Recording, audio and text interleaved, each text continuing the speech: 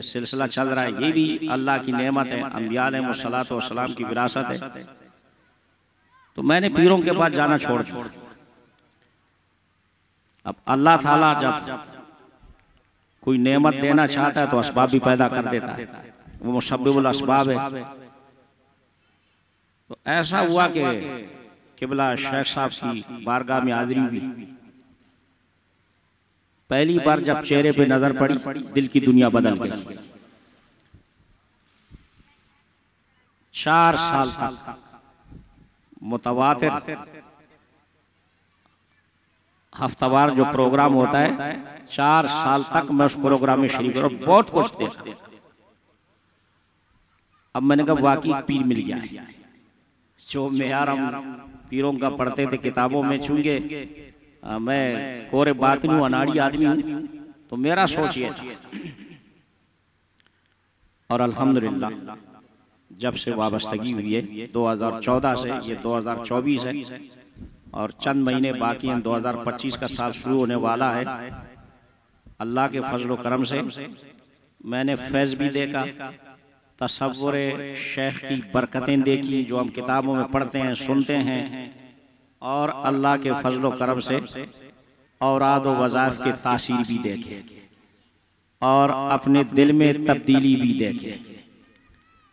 ये सब कुछ देखने के बाद अब सर भी कदमों में है दिल भी कदमों में रखा हुआ है। क्योंकि जब नज़र आ गया तो मानेंगे क्यों नहीं? पूरी दुनिया न माने मैं तो मानूँगा। मैंने देख लिया। लेकिन फैज के लिए ताजीम शर्त है। ये जो अहले तरीकत है ना ये हमारी बातिन को देखते हैं।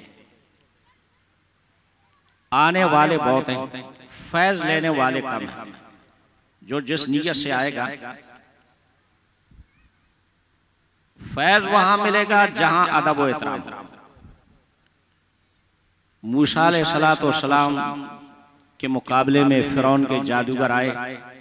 फिरौन ने सत्तर हज़ार जादूगर बुलाए। क्या इसको जहर करो, ये तो मेरे लिए अजाब है। वो झूठा खुदा था ना, खुदा कहलाता था। तो एक तरफ़ हज़रत मूसा इस्लाम और बनी इसराइल की कौम थी, दूसरी तरफ़ बादशाह वक्त फिरौन था और सत्तर हज़ार जादूगर बादशाह ने बुलाए थे। बादशाह वक्त फिरौन उनकी पुष्पनाई कर रहा था। खल के खुदा जमा हो आज जादूगरों का एक पैगंबर से जो है मुकाबला हो रहा है। देखें कौन गालिब आ जाता है। जादूगरों ने कहा या मूसा इम्मा अंतुल क्या इम्मा अन्नकून नाहनुल मुल्कीन। कहा पहले आप अपना मोर्चा दिखाएँ अपनी लाठी फेंकें। या आप हमें इजाज़त दें आप अपनी जादू का कमाल दिखाएँ। मूसा ने पहले तुम करो।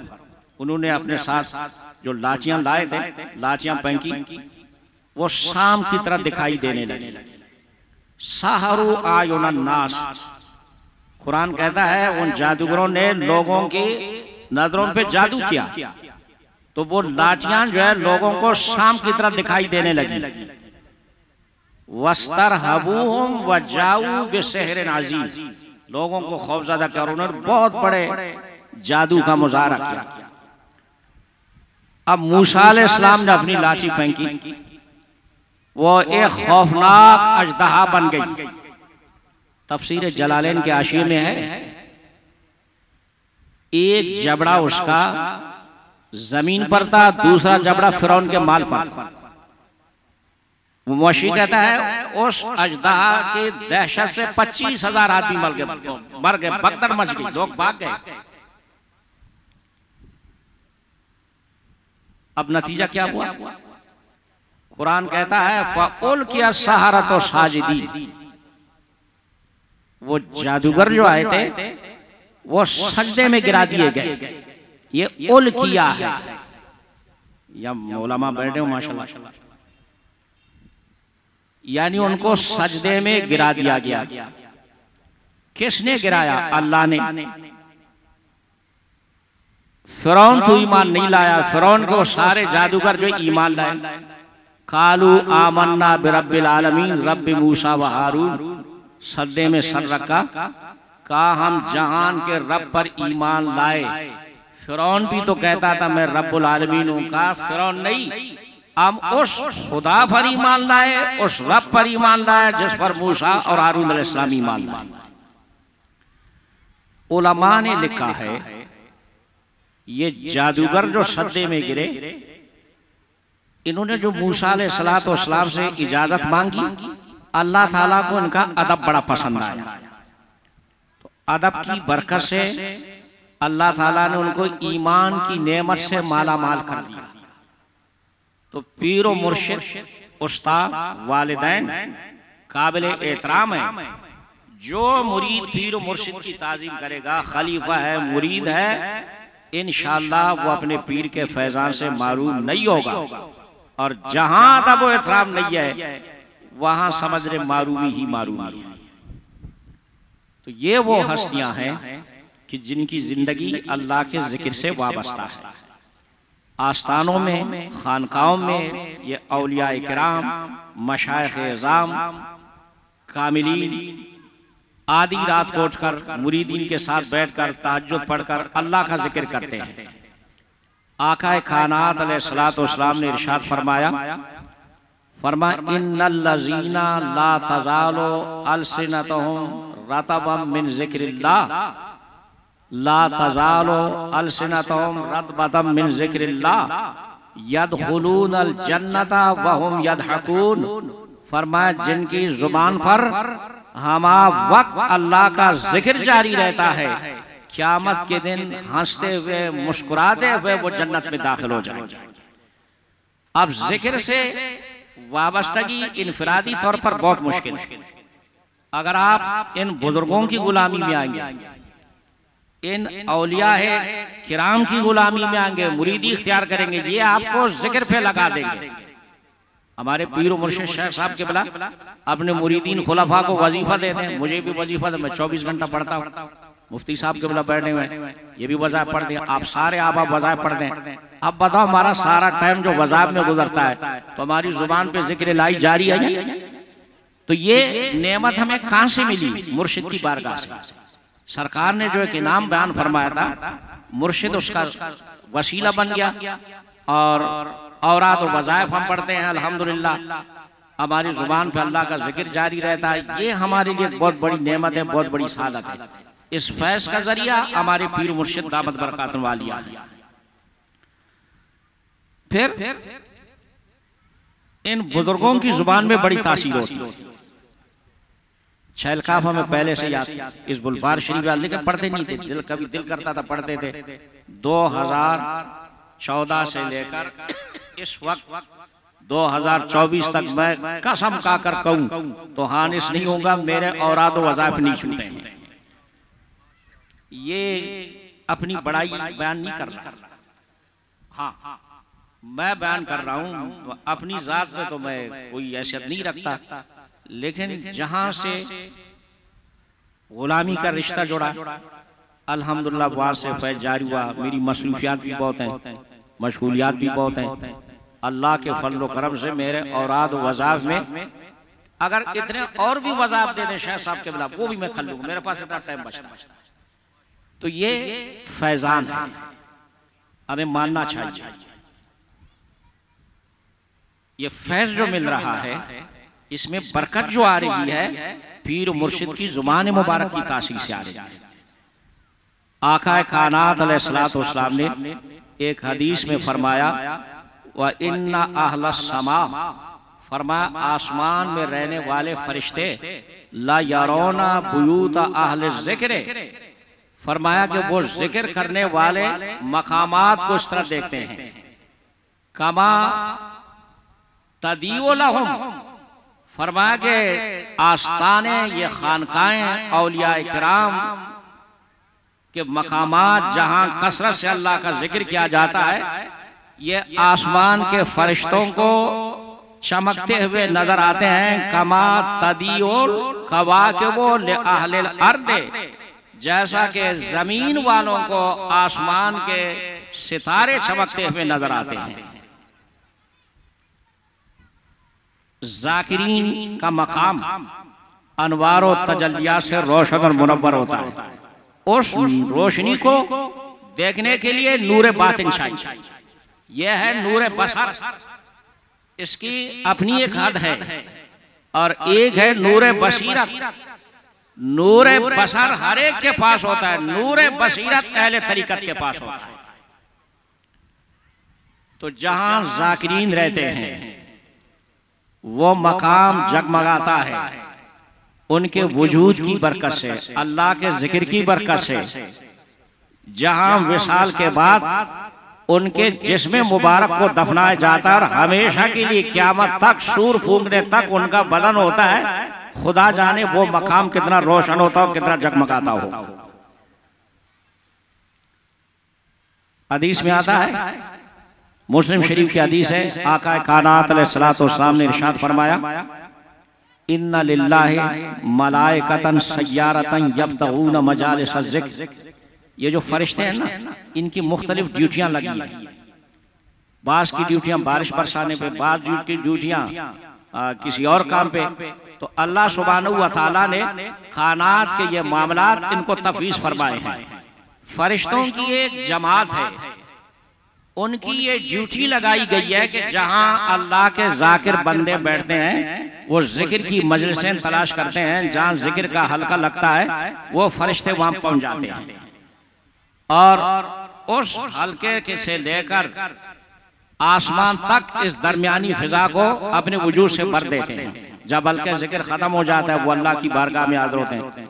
अल्लाह ताला को सब कुछ पता है, बंदे क्या कर रहे थे।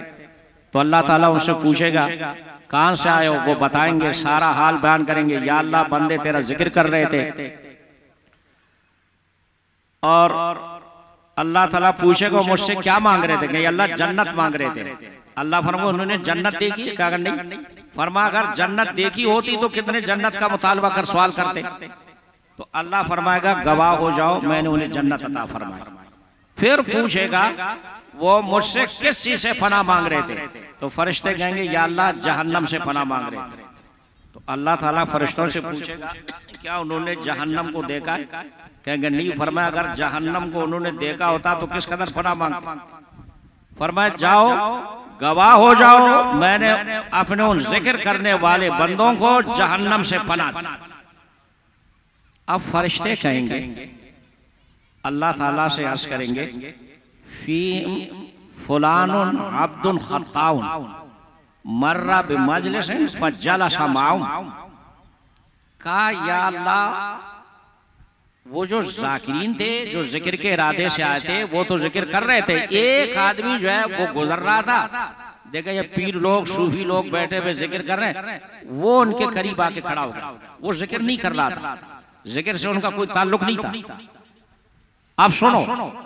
अल्लाह सुबहान अपने महबूबों का कितना लाज रखता है। अल्लाह फरमाता है, गफर तो लहू, फरिश्तो गवाह हो जाओ, इनकी बरकत से मैंने उसको भी बख्श दिया। जो ज़िक्र के इरादे से नहीं आता आवारा आदमी था, बदमल आदमी था गुनागार आदमी था। तो अल्लाह ताला फरमाता है, उनको भी मैंने बख्श दिया। कि ये होमुल कौमो ला यशका बिहिम जलीसुहुम। कहा मेरे ज़िक्र करने वाले मुझे याद करने वाले और हमा वक्त मेरी तस्वीर और तकबीर और तहलील पढ़ने वाले ये वो हस्तियाँ हैं कि जो इनसे वाबस्ता हो जाएगा जो इनसे करीब हो जाएगा अल्लाह ताला फरमाता है मैं उनको भी मायूस नहीं करूँ वो बदबख्त होकर नहीं जाए हम बयात इसलिए हो जाते हैं बुज़ुर्गों के मुरीद इसलिए हो जाते हैं कि इनकी जिंदगियाँ अल्लाह के ज़िक्र के लिए वक्फ हैं हमा वक्त अल्लाह का ज़िक्र करते रहते हैं। और हमें उनसे वाबस्तगी हो जाती है।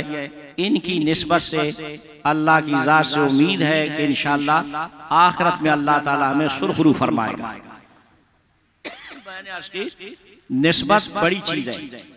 मुस्लिम शरीफ की एक हदीस है एक आदमी ने निन्यानवे आदमी कत्ल किए था खातिल था। अब बाद में पछताया। पूछा मैंने निन्यानवे आदमी कत्ल किए तो मैं तौबा करना चाहता हूँ। मेरी तौबा कबूल हो सकती है?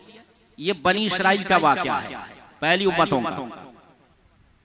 जिससे पूछा था उसने कहा नहीं तू तो बहुत बड़ा गुनाहगार है। निन्यानवे आदमियों का काल दे तेरे लिए तौबा तेरी तौबा कबूल हो जाए। तू तो बहुत ही बदबख्त इंसान है। उसने कहा बदबख्त तो वैसे जन्नत में जाना है। चलो उसको भी ठंडा कर। तलवार निकाल के उसकी गर्दन मार। अब सौ आदमियों का कातिल बन।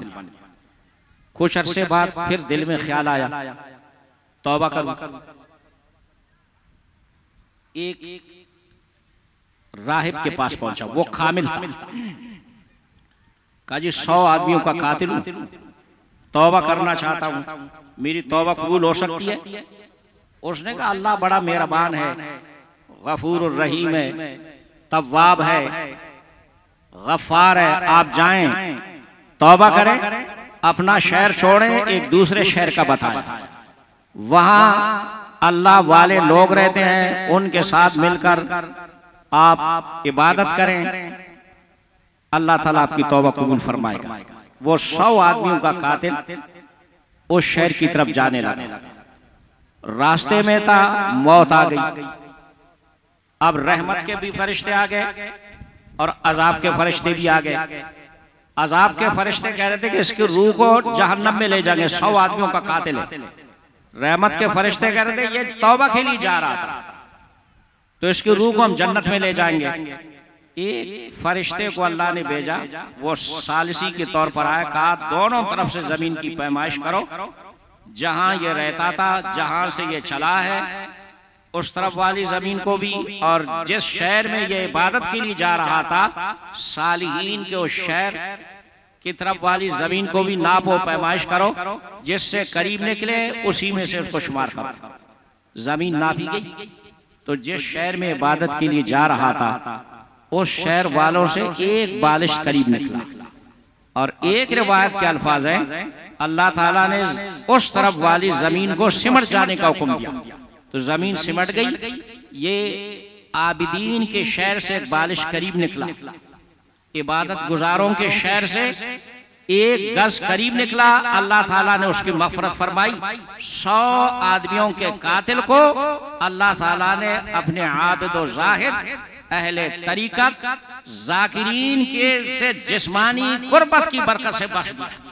तो जो इनका कीदत बन बन जाए, जो उनकी गुलामी का तो गले में डाले, जो इनकी हिदायत पर चले, और जो इनसे वाबस्ता हो जाए, इनका दामन थाम ले तो अल्लाह की रहमत से बई नहीं, अल्लाह ताला उसका बेड़ा पार करते तो ये अहले सलासिल से वाबस्तगी, अहले सलासिल की गुलामी, जिसको नसीब हो जाए, वो बड़ा खुश नसीब है। इस निस्बत की कदर करनी चाहिए। दौलत काबिल फख नहीं है। अल्लाह दे तो ये भी सही। ये भी बड़ी सादत है लेकिन सबसे बड़ी नेमत वो अहलुल्लाह की इतात गुलामी है।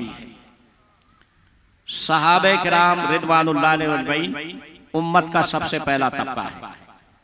आप देखें बाद का कोई गौश, कोई बड़ा सा बड़ा अपने दौर का मुश्तैद कोई कुतुब, कोई अब्दाल, कोई औतात कोई आलिम, कोई मुसन्फ जितना बड़ा क्यों ना हो, वो किसी एक आम दर्जे के सहाबी के भी मकाम और मरतबे को नहीं पहुँच सकता। पीरान पीर गौशपाक जीलानी रज़ी अल्लाह तला कुतबों के कुतुब, वलियों के वली, हमारे सर का था। हमारी ईमान का हिस्सा। देखो कुतबुल अख्ताब है। गौसल अहवास है। विलायत में उनका मकाम बहुत बुलंद बाला है। लेकिन सहाबे किराम से अगर पीरान पीर गौश पाक या बात के किसी वली और बुज़ुर्ग का आप मुकाबला करें। तो इनके मकाम में इतना फ़र्क नज़र आएगा कि साहब कराम आसमान की बुलंदी पर अपने दौर के ये गौश कुतुब अबदाल अवताज जो भी हो मुश्तदीन ये उनके मकाम के नस्बत से ऐसा नज़र आएँगे कि वो आसमान की बुलंदी पर और ये फर्श ज़मीन पर। अब देखो गौश पाक के बारे में हम पढ़ते हैं पच्चीस साल इराक के जंगलों में उन्होंने रियाजत की। अल्लाह का ज़िक्र करते रहे। मुजाहिदा बिन नफ्स करते रहे। क्या किसी सहाबी के बारे में यह आता है कि किसी सहाबी ने जो जंगलों में जाकर 25 साल 30 साल 20 साल 15 साल 10 साल ये मुजाहिदे किए हो? आता है? नहीं। तो इबादत तो यहाँ ज़्यादा नज़र आती है। मकाम वहाँ। वजह क्या है? वजह यह है। बजाहिर ये इबादत ज़्यादा है।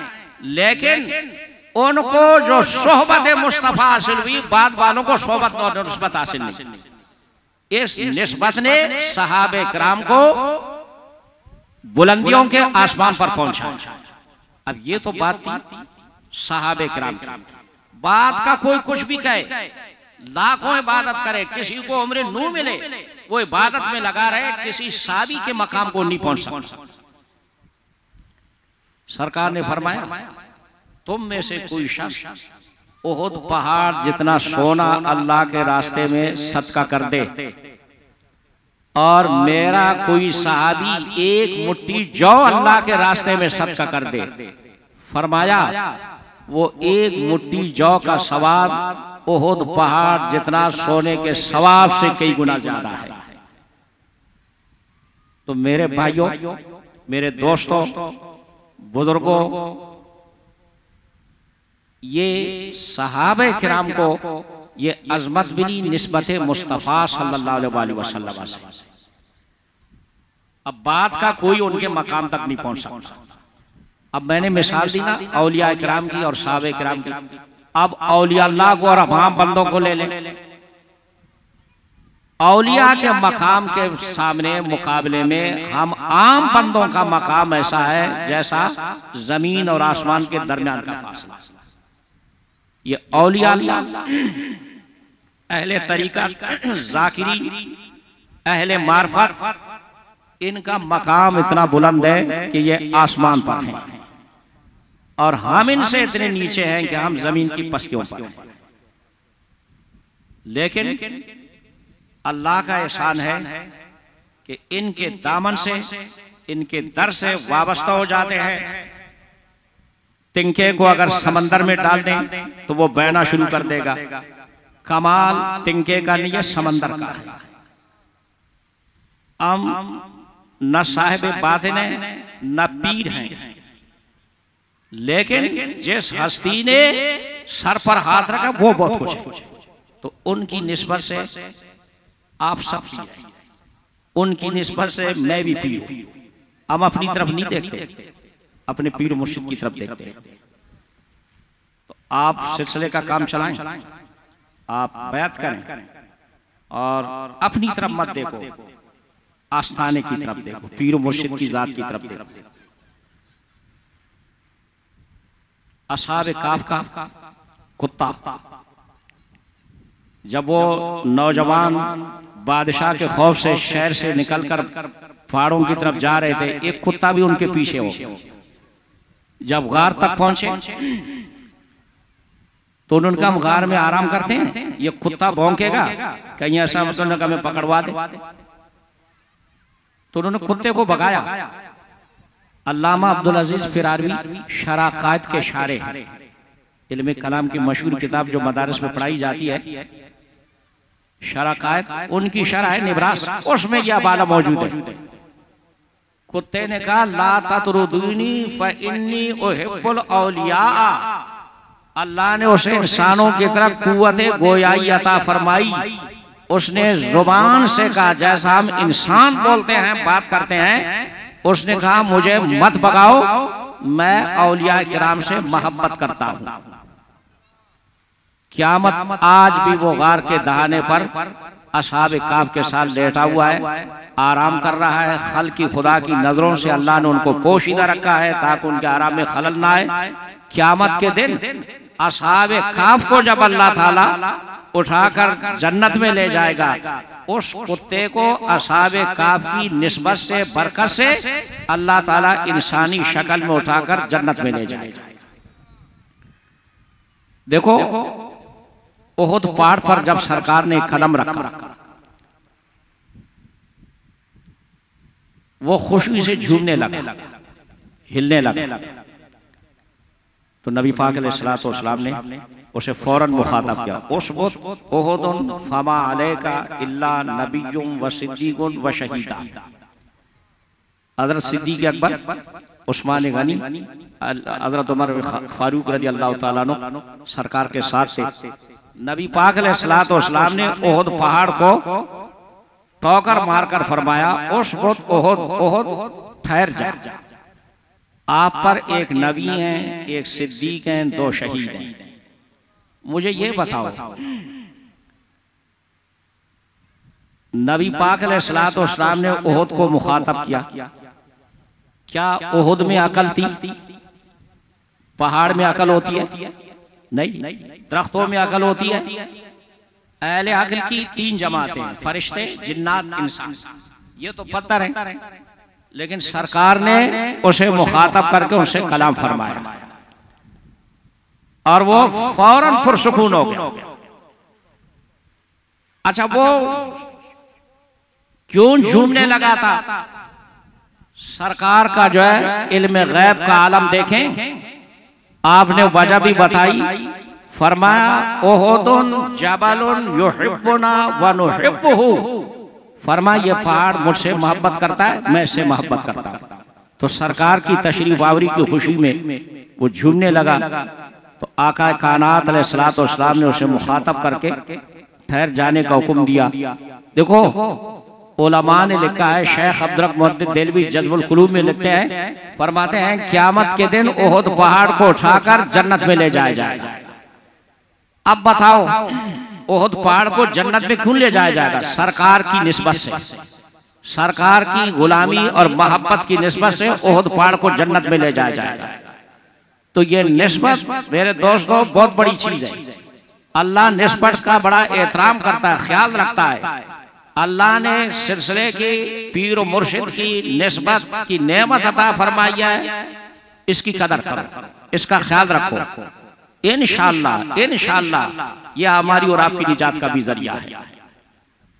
देखो मट्टी की कोई हैसियत नहीं आप घर में झाड़ू देते हैं जो मट्टी निकलती है उठाकर फेंक देते हैं। गटर में फेंक दें किसी नापाक जगह में फेंक दें। इस बात का आप ख्याल नहीं रखेंगे क्योंकि मट्टी काबिल एहतराम नहीं है। लेकिन मस्जिद को जब आप झाड़ू देंगे मस्जिद की सफ़ाई करें जो कचरा निकलेगा मट्टी निकलेगी उसके लिए हुक्म यह है वो मस्जिद की मट्टी है नापाक जगह पे उसको नहीं फेंकना। फतावा शामी में मसला मौजूद है। अब देखो घर के मट्टी की तो कोई कदर नहीं मस्जिद की मट्टी की कदर है इज़्ज़त है ताजी में वजह क्या है? मस्जिद की निस्बत से मस्जिद की मट्टी भी काबिल ताजी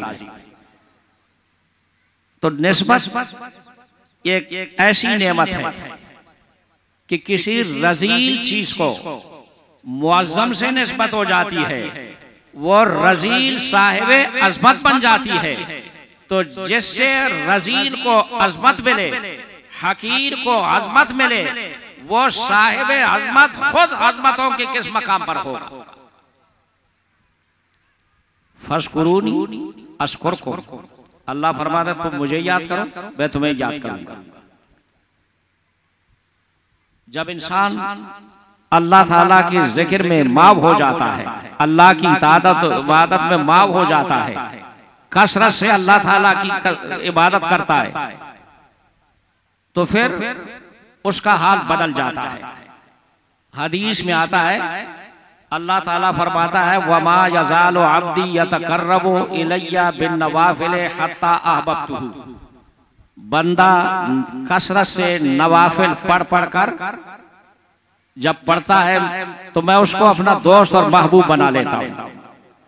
तो अब वो बंदा महबूब इलाही कहलाता है। वो महबूब सुबहानी कहलाता है। वो महबूब खुदाबंदी कहलाएगा। वो महबूबियत के मकाम पर जब पहुँच जाता है, वो होता तो हम जैसा इंसान है, लेकिन उसके कमालात, उसके तसरुफात वो हम इंसानों की इंसानी ताकत और कुत से बाला कर होते हैं। वो जो कुछ करता है कुत रब्बानी से करता है, वो कुत लाई का मजहर बन जाता है।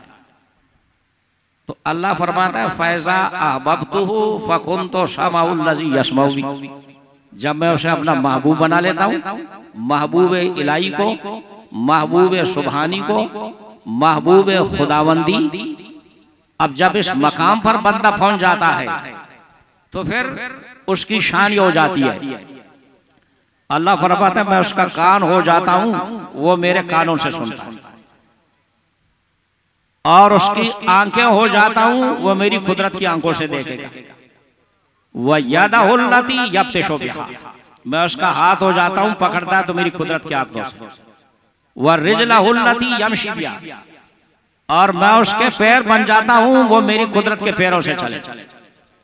वाला इन सालनी यन्नहू। अल्लाह फरमाता है, अगर वो मुझसे सवाल करे, मांगे तो मैं ज़रूर बे ज़रूर उसे अता करूँगा। साब कराम का जब दौर था तो वो सरकार से दुआएँ कराते थे। उनके सामने रसूल पाक सल्लल्लाहु अलैहि वसल्लम की जात थी। आका कानात हाथ उठाकर दुआ फरमा देते और उनकी मुश्किल आसान हो जाती हज़रत सलमा बिन अकवा सरकार के शादी गजब खैबर में उनकी पिंडली पे तलवार लगी। लंगड़ाता हुआ सरकार की बारगाह में हाजिर हुआ। यार सूरत जान निकल रही है। कुछ कर्म फरमा दें। सरकार ने वहाँ लोहाबे दहन माला। हड्डी को जोड़ा नहीं, मरम पट्टी नहीं की। कहा, दर से मेरी जान निकल रही है, कुछ नज़र कर्म फरमा दे। सरकार ने वहाँ लोहाबे दान माला। हज़रत सलमा रदी अल्लाह तला की पिंडली अपनी जगह पे जुड़ गई और उसी वक्त दर्द खत्म हो गया और उसे आराम आ गारे शौर में हज़रत सिद्दीक अकबर रदी अल्लाह तला के गोद में सरकार सर रखकर आराम फरमा रहे थे। हज़रत सिद्दीक अकबर को सामने डस लिया जनाब सिद्दीक अकबर रदी अल्लाह तला के बदन में शाम का जहर जब फैल गया, आँखों से आँसू बहने लगे। और वो आँसू सरकार के रुखसार मुबारक पर गिरे। आका कानात ने आँखें खोली। हज़रत सिद्दीक अकबर का हाल देखा फरमा माला का या बक अबू बक क्या हुआ तुझे? क्यों रो रहे हो? कहने के लोदेख तो या रसूल अल्लाह सल्लल्लाहु अलैहि वसल्लम मुझे सांप ने डस लिया है। तो आका कानात सलाम ने दुआब दान माला। जहर का सारा असर खत्म हो गया। और हज़रत सिद्दीक अकबर रज़ी अल्लाह तआला का वो दर्द और वो तकलीफ़ फ़ौरन दूर हो गई अर रहमानो फ़सल भी खबीरा। फरमा रहमान के मुतालिक उस जात से पूछो जो मार्फत, रहमान की मार्फत रखता है। साबे कराम के सामने आकाए खानात सलाम की जात बाबरकत थी कोई मुश्किल उनको पेश आती, कोई मुसीबत पेश आती। अपने हर मुहिमात में, मुश्किलात में साहब कराम आका खानात सलाम की खिदमत में हाजिर हो जाते। सरकार जब विशाल फरमा गए हमारा ईमान है अकीदा आप ज़िंदा हैं बस फ़र्क कितना है जब आप विशाल से पहले हर एक को नज़र आते थे अबू जाल को भी अबू लहब को भी दूसरे दुश्मनान को भी इब्न उबई को भी और जानसारों को भी जनाब सिद्दीक अकबर को भी उमर फारूक को भी उस्मान सिंदूरैन को भी अली मुर्तजा को भी दूसरे जानसारों को भी पर्दा फरमाने के बाद आप हर एक को नज़र नहीं आते जिनके दिलों में निगाह सिद्दीकी हो आज भी वो आपकी जियारत करते हैं और आप उनको नज़र आते हैं वो आपसे फैजाबी होते हैं।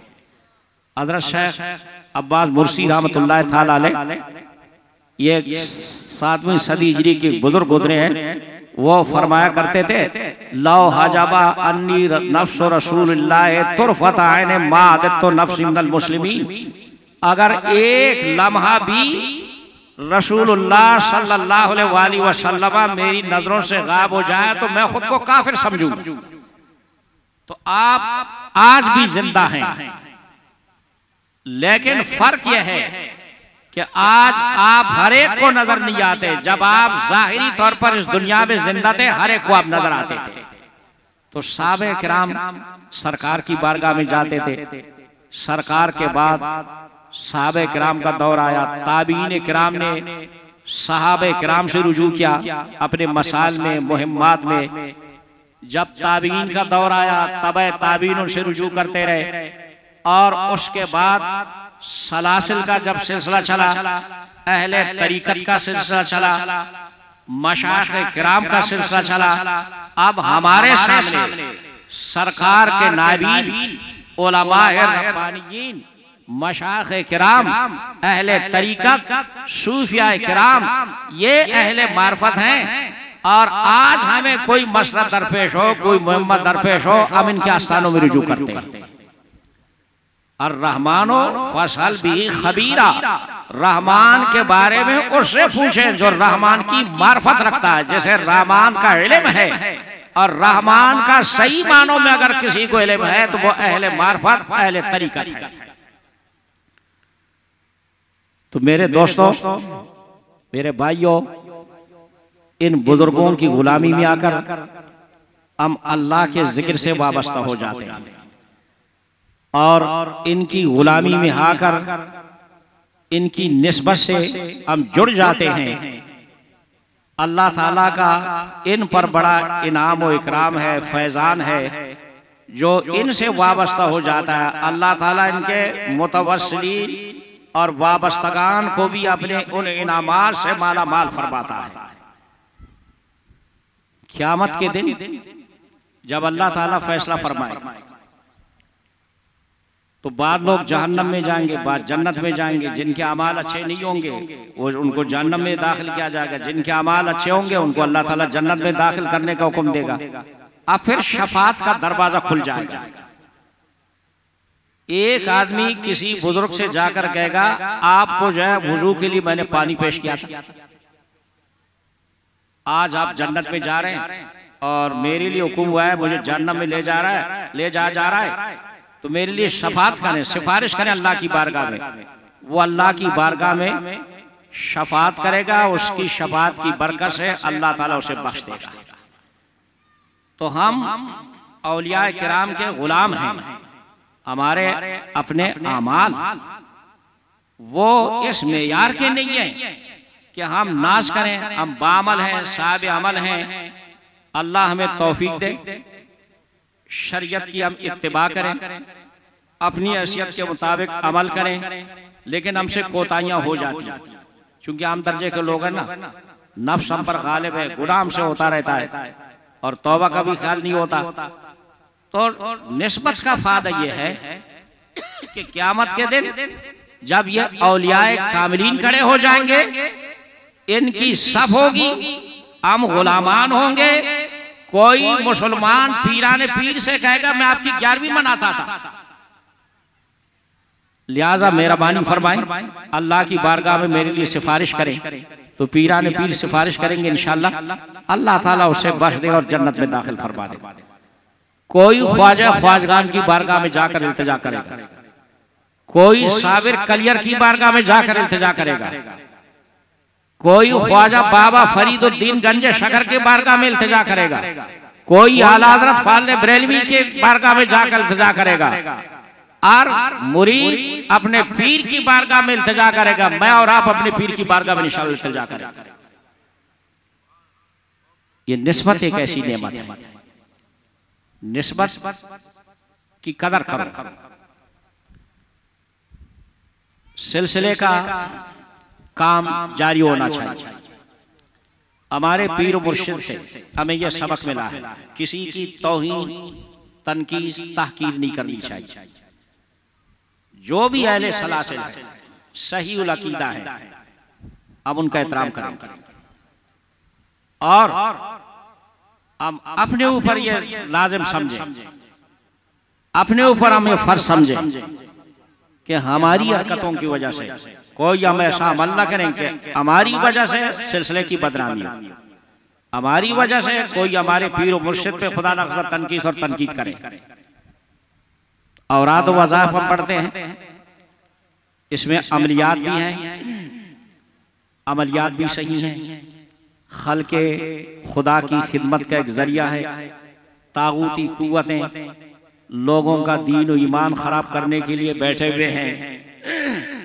लोग मजबूरी से उनके पास जाते हैं और वो लोगों की मजबूरी से नाजायज फ़ायदा उठाकर लोगों का दीन ईमान बर्बाद कर देते हैं। क्योंकि लोगों को इलम नहीं होता बेचारों को और मजबूरी ऐसी चीज़ है सब कुछ कराती है।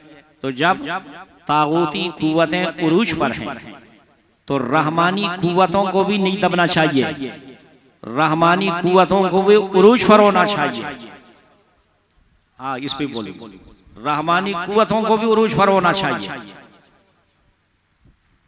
औराद वजायफ जो नूरानी औराद इजबुलबार शरीफ है सूर्य मुजम्मिल शरीफ है दूसरे औराद वजायफ जो पीर मुर्शिद किबला अपने खुलाफा मुरीदीन को देते हैं ये पढ़ा करें और इनके ज़रिए ज़रूर खिदमत खल करें।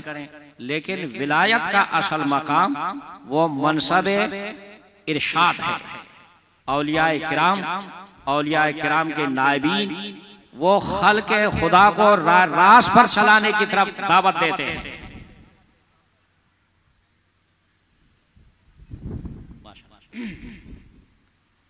तो अगर आप से किसी का काम हो जाता है। वो आपका अकीदत बन बन जाता है। वो आपका मोतकद बन जाएगा। अब आप उसको राय रास पे चले पाँच वक्त नमाजें पढ़ने का सुन्नत की पैरवी का दर्श दे दे। बीमार को आस्ता आस्ता जो है शिफा याबी की तरफ़ लाया जाता है।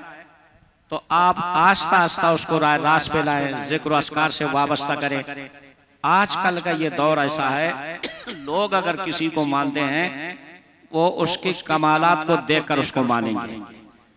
पहला दौर ऐसा था कि लोग गुनाहों से तायब होने के लिए आते थे। आज लोग मसाइल के नीचे दबे हुए हैं और अपनी मजबूरी और ज़रूरत की वजह से आते हैं।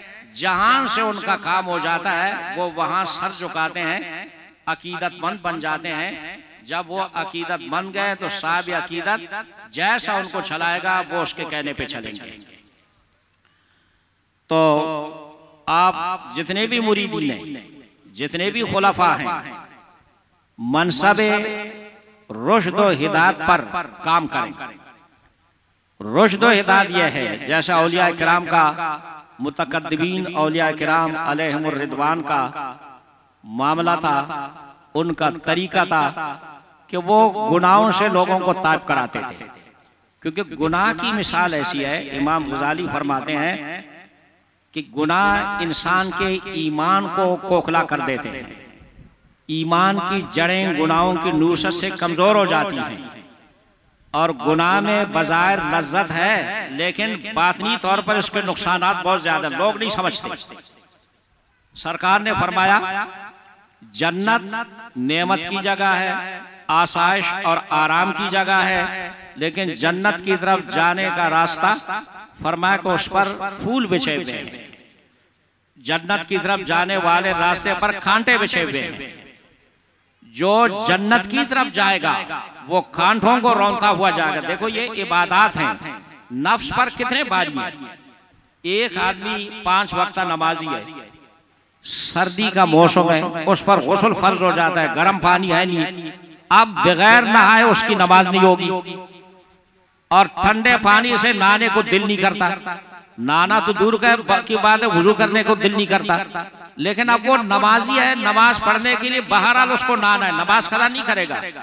वो नींद से उठकर आँखें बंद करके तकलीफ़ उठाकर ठंडे पानी से नहाएगा नमाज़ खजा होने का नमाज़ पढ़ेगा। अब बताओ वो जा रहा है जन्नत की तरफ़। लेकिन कितनी दुश्वारियों उसको रौनता वो वो जन्नत की तरफ़ जा रहा है। और जहन्नम अजाब की जगह है अजाब का मकाम है। लेकिन सरकार ने फरमाया जहन्नम के रास्ते में फूल बिछे हुए हैं। ये गुनाहों की ज़ाहिर लज्जत की मिसाल ऐसी है।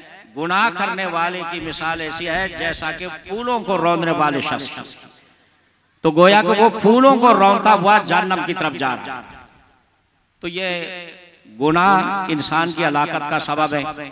जब सकरात का झटका लगता है तो अगर ईमान गुनाहों की नूसत की वजह से ज़यीफ हो तो बैद नहीं कि गुनागार आदमी ईमान की दौलत से नेमत से महरूम होकर इस दुनिया से जाए। तो अहले तरीकत जो है उनका सबसे पहला मतब नज़र मशाइ कराम सूफिया कराम वो खल के खुदा की तरबियत करते हैं, ईमान की हिफाजत करते हैं। ईमान की हिफाजत का सबसे बड़ा ज़रिया यह है कि इंसान को गुनाहों से दूर रखा जाए। तो असल जो खिलाफत दी जाती है और जो खुलाफा हैं, उनकी ज़िम्मेदारी यह है। अमलियात हैं चूँकि हम बंदों के अफाल वो अगराज के साथ मुल्ल और वाबस्ता होते हैं। वो मुल्ल बिल अगराज हैं। अमलियात भी आप करें। लेकिन अमलियात को अपना आखिरी मकसद मत समझे बल्कि अमलियात को खल के खुदा की खिदमत का एक ज़रिया समझे। और हमें और आपको जो खिलाफत दी हमारे पीर मुर्शिद ने तो वो सिर्फ़ अमलियात की हद तक नहीं है। हमारे पीर मुर्शिद की तालीमत ये नहीं है। अमलियात ज़रूर करें। आशे असरात लोगों को तंग करते हैं। आपने नूरानी कलमा से पढ़ा अल्लाह ने उसे शिफा दी। तो आपको अल्लाह ताला बड़ा जो स्वाब अता फरमाएगा। और करना चाहिए ताकि लोग ताबूती कुतों का शिकार ना हो जाए। लेकिन इसके साथ साथ आपने मसनद इरशाद को भी संभालना है। अहले विलायत का यही तरीका है। उसके लिए इल्म का होना ज़रूरी है। आप साहिब इल्म बन जाए। और साहिब इल्म बनकर आप लोगों की रहनुमाई कर सकेंगे। हज़रत पीरान पीर गौशपाक रज़ी अल्लाह तला वलियों के वली वो पढ़ाते भी थे। यानी वो कीद और काल दोनों से वाबस्ता थे। अगर अल्लाह ताला किसी को इल्म लदुन्नी अता फरमाए, जैसे हमारे पीर मुर्शिद अलहमदिल्ला आप कोई भी सवाल पूछना, अभी मैं अपने कुछ दोस्तों से ज़िक्र कर रहा था। ये इल्म लदुन्नी के आमिल और हर एक के पास ये मकाम नहीं होता।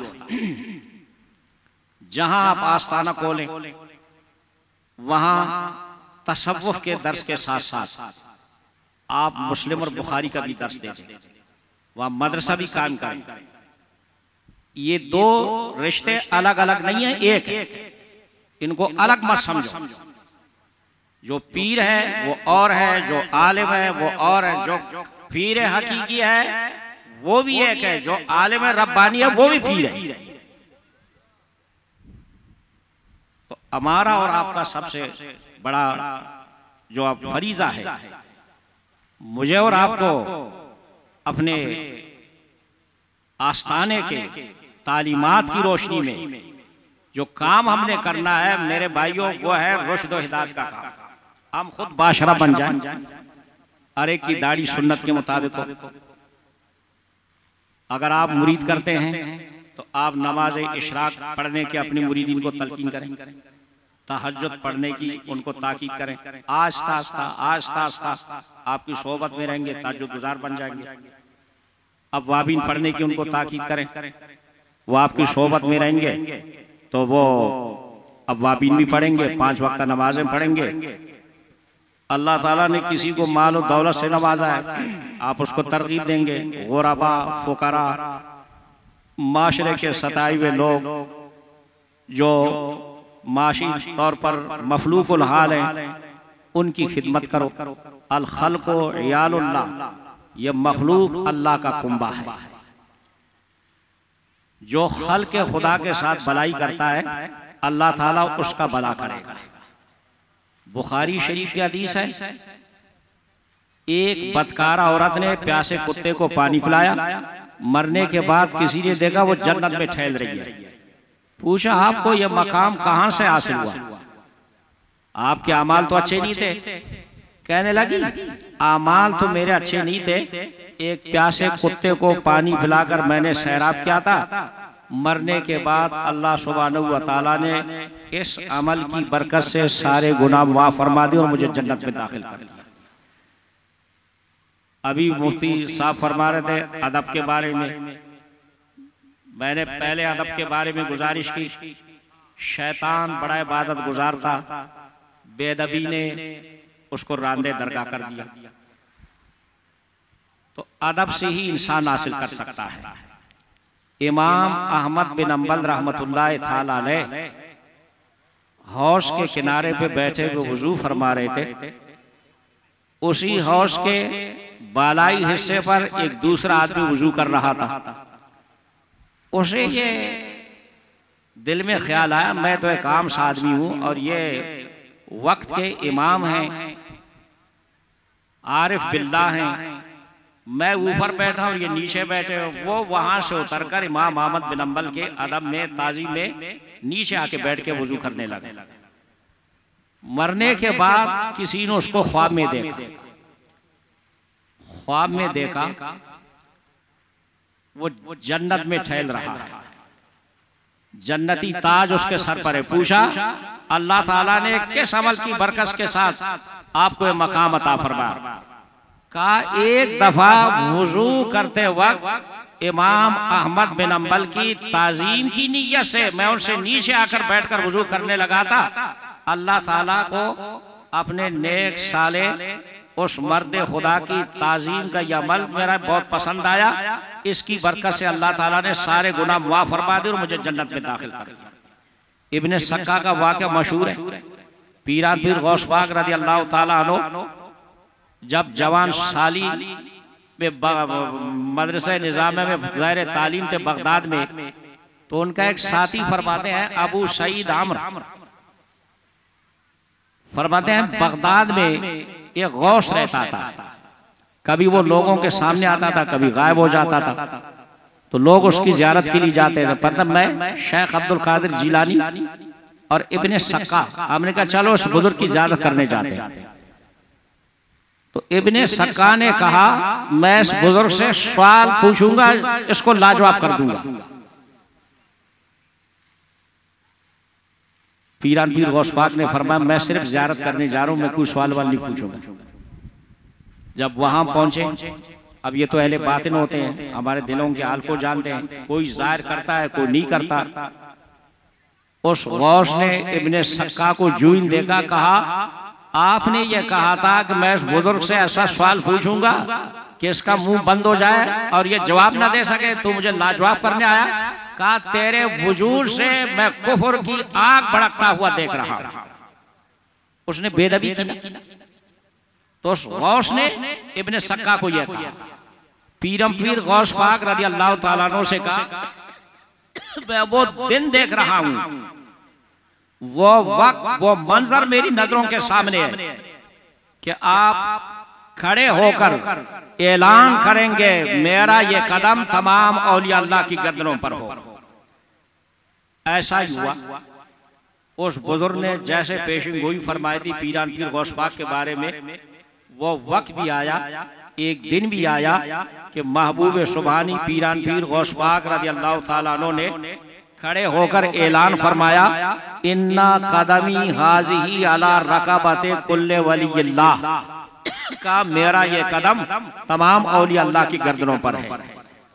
उस मजलिस में 307 औलिया अल्लाह मौजूद थे। सबने अपनी गर्दनें झुकाकर तस्लीम किया कि आपका कदम मुबारक हमारी गर्दनों पर। रूह है ज़मीन में जहाँ कोई वली मौजूद था। आपकी आवाज़ सबने सुनी।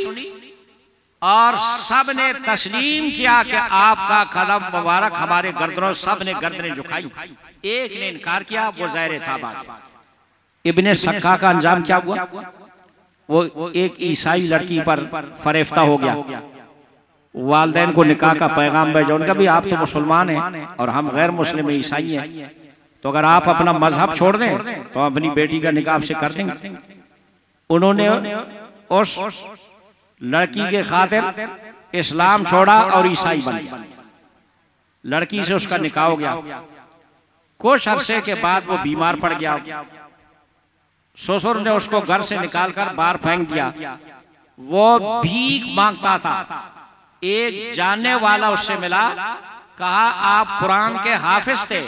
अब बताओ कुरान आपको याद है या नहीं कहा कुरान की एक आयत मुझे याद है और बाकी सारा कुरान में भूल चुका हूँ।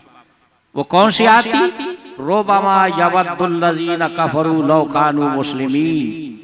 ये आयत का मुझे याद है व्रत के तौर पे। जब उसका वक्त आखिरत आया, उनका एक जानने वाला कहता है, मैंने उसका मुँह किबले की तरफ़ किया, लेकिन खुद ब खुद उसका मुँह किबले की तरफ़ से फिर जाता था और इसी हाल में वो कुफर पर तो ये बेदबी का अंजाम है। माँ बाप सूफिया और अहले तरीका, मुर्शिदान ग्रामी की। अच्छा बेदबी से बचे। अल्लाह ताला हम और आप सबको इससे बचाए और इस आस्ताने से अल्लाह हमें वाबस्तगी की सादत नसीब फरमाए। पीरो मुर्शिद को अल्लाह ताला दराजी उम्रता फरमाए। हमें अपने मुर्शिद का, मुर्शिद के साहबजादगान का मुर्शिद के मुरीदीन और हम आपस में जो खुलफा हैं, सबके एहतराम का ख्याल रखना है। और अपने मुर्शिद की तालीमत पर हमें अमल करनी है। हमारे पीर मुर्शिद के मिजाज में कोई अल्हम्दुलिल्लाह नखुवत कोई गुस्सा आप नहीं देखेंगे। वो खुल के मुस्तफ़ा के पे करें। अगर आप इस मुर्शिद से वाबस्ता हैं और यकीनन है तो आपको भी पीर मुर्शिद के खुल का पैकर और मजहर होना पड़ेगा। अब ज़िक्र होगा कि लफी साहब तशरीफ़ लाए, मुफ्ती साहब ज़िक्र। अल्लाह अल्लाह अल्लाह।